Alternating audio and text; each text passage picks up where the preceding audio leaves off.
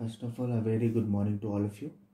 So, in previous lecture 2, I have discussed some of the important terms and its unit used in steam table. So, today I will give you some of the important formula to find specific volume, specific enthalpy, and specific entropy of steam at different condition of steam. Now, for wet steam, specific volume is equal to sum of specific volume of liquid and product of dryness fraction and specific volume of evaporation. Next, specific enthalpy is equal to sum of specific enthalpy of liquid and product of dryness fraction and specific enthalpy of evaporation. Last one, specific entropy is equal to sum of specific entropy of liquid and product of dryness fraction and specific entropy of evaporation. So for dry steam, specific volume is equal to specific volume of vapor. Specific enthalpy for dry steam is equal to specific enthalpy of vapor. Specific entropy for dry steam is equal to specific entropy of vapor.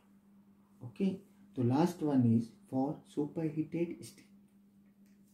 For superheated steam, specific volume is equal to product of specific volume of vapor and ratio of superheated temperature to saturated temperature.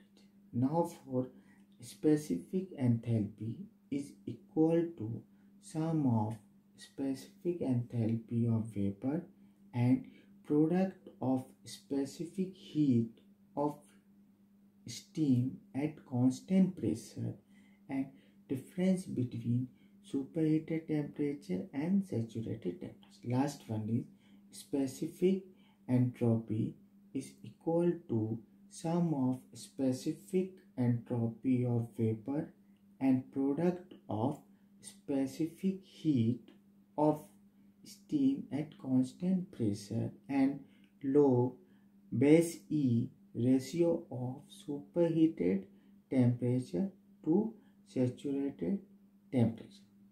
If in numerical temperature is given in degrees Celsius, one should convert it into Kelvin. Okay.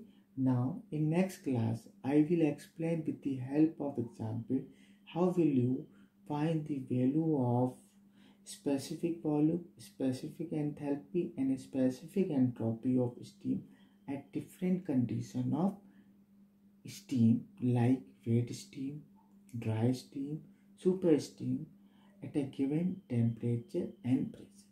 So thank you very much. Okay, next class we will meet.